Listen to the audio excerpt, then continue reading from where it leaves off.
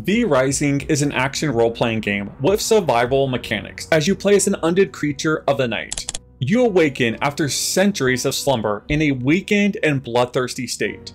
Explore a vast open world of dark fantasy, humans, and worse, the deadly sunlight. Rise in power and conquer the world of the living. And this rich, open world that the game has going for it is what I want to focus on in this video. So why did the world in V Rising stick out to me? Well, to put it quite simply, it's because how alive the world feels. Instead of feeling as if I'm playing in a lifeless world where everything waits for my character to come onto the screen in order for the action to start happening, I felt as if I was playing in a world where life was carrying on whether my character was around or not. What do I mean by this? Well, there was times when playing V Rising where I would simply encounter two factions of enemies already engaged in battle with each other. That's right, in this game, it's not simply you versus the world. The game has enemy factions and they're not always friendly with each other. And since there are enemy patrols in the game, these encounters occur randomly in different locations, even if you're not around to witness them. And they do not just occur with regular enemies. Even some of the bosses in this game roam around the map, and sometimes they encounter each other and go to battle as well. In fact, there was a time where I was facing a boss, and another boss randomly came across us during our fight, which completely changed the encounter. Now, in a lot of games, if you're in a boss fight and another enemy approaches you, it simply turns into a 2v1, which could have been a problem because I don't know if I would have been powerful enough to take on two bosses at once. However, in this game, it wasn't a 2v1. Instead, it turned into a free-for-all bloodbath, which kept the game just so exciting. And it's not just enemy patrols or random boss encounters, or even enemy factions that kept the world feeling alive, but the environment itself actually had gameplay impacting mechanics. So the game has a day and night cycle, which is nothing impressive after all a ton of games have day and night cycles. However, this time around, the daylight is actually an environmental hazard. After all, you are a vampire, so mere sunlight not only damages your character, but it could also flat out kill you.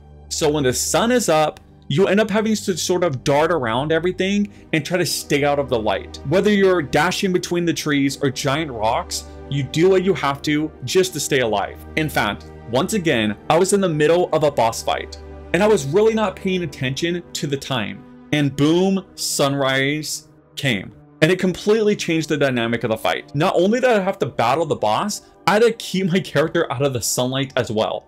It just kept things once again interesting and fresh.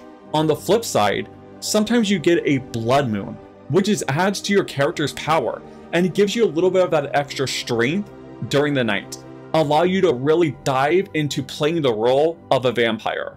Overall, it just felt so refreshing to play a game where you felt like you were part of the world instead of being the center of it. And keep in mind, all of these events happened with me simply playing on a private server with only a small group of friends that had access to it. I'm sure once I dive into the online portion of the game, maybe play on a PvE or PvP server, the dynamic of being in such a livable world would just go off the charts. How V Rising handles its open world is something I would love to see other more traditional ARPGs incorporate in their games. I'm not saying every action RPG should be open world, I don't think that's the case, but if they decide to go the open world route, I hope they really embrace it. Too many times we see a game start with all these ideas for their giant world that you could explore. However, with every season, every patch, they basically start to kill off any sense of adventure or exploration. For example, Diablo 4. One of the main marketing key points for that game was the open world. However, after a year, the game has started to turn more into running the pit, running nightmare dungeons, or if you're in the open world, you simply just go to the zone where the Helltide is active.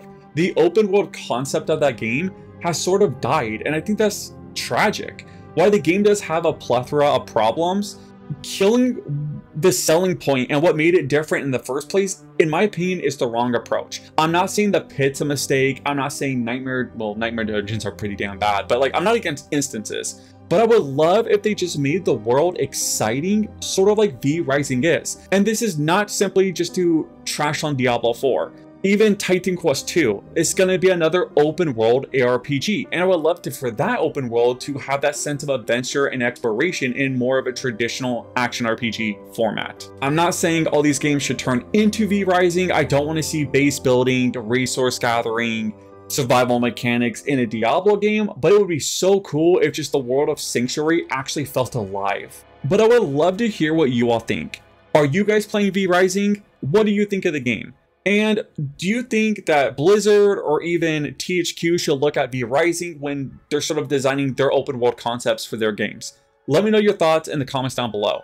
By the way, if you made it this far and did enjoy the video, let me know by dropping a like. And if you are new, please consider subscribing. As for me, I got a ton of work to do, so I'm going to get back to the grind and I'll catch you in the next one. Peace.